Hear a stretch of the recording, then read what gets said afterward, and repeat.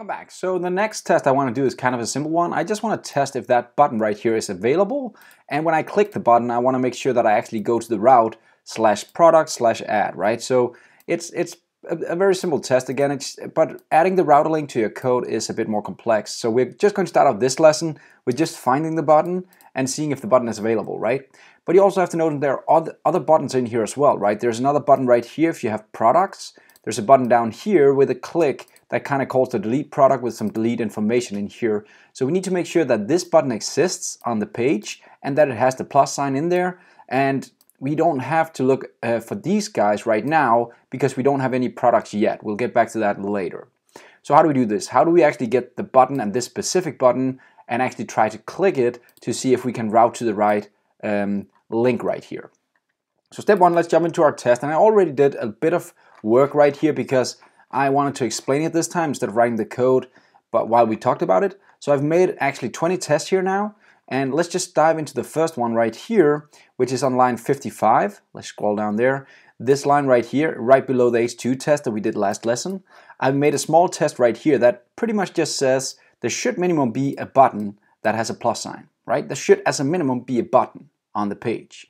Now what I've done is pretty simple. You can go in again and use the query all this time and instead of last time I used the query just to get the first H2, now I'm saying query all, which means on a debug element, I can go and find all elements that are of the type button. Very simple stuff. So now I have a link, um, a description right here for all the different buttons uh, that are actually available right here. And um, let's just call them button description or buttons. That's a better name, buttons like this. There we go. So now I have a list of buttons right here and I can use that list of buttons and pretty much the first test I'm doing is just saying there should be minimum one button always because right now I don't allow that this guy is removed, right? So that button needs to be there. So that's the one button that's a minimum. But if I have 10 products, there'll still be buttons there, right? So now there'll still be 10 buttons here and one here, so that gives 11. So that's why I do the test this way. The first one, I just say, as a minimum, we need a single button in here.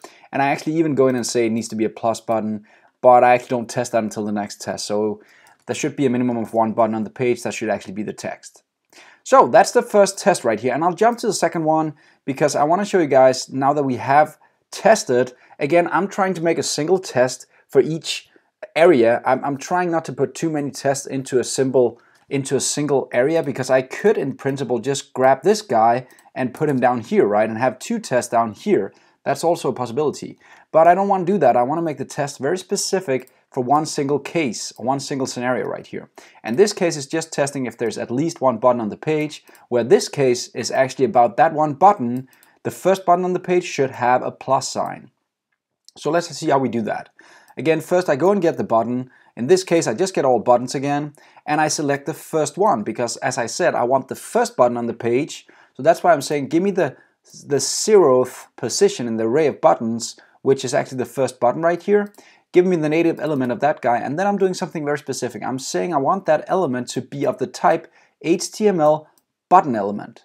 Now the reason I'm doing this is because I can be type safe now, and that means that when I do native button dot, I can actually start getting all the things that a button in HTML can provide for me, right? For instance, text content, right? That is now available as a property right here, where if you guys remember earlier, I couldn't find this unless I went into the actual browser and kind of did debugger and stuff like that.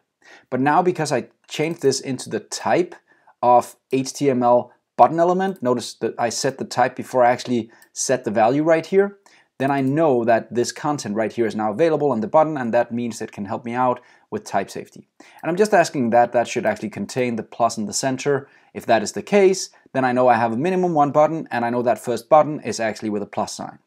So that was two very simple button tests. Now you can do anything on buttons that you normally can. You can do click events and stuff like that. We'll dive into that in the next lesson. This lesson I just want to show you guys how easy it is to actually get the button and actually use the HTML button element. Now you have a, a elements for everything. Like here's a head element, right? H2, I just use that one. There's elements for everything you can see on a page. Span elements, um, div elements, everything is these small helpers right here will help you write that code. So that was two very simple uh, tests right here to kind of see that there was a button on the page and a minimum one button with a plus sign. So that's it for this lesson. See you next time. Have fun.